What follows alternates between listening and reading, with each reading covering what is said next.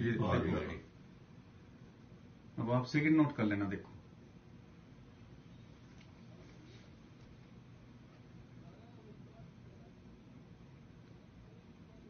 गाड़ी में से उतर कर चौदह सेकंड के आदमी अंदर आ गया।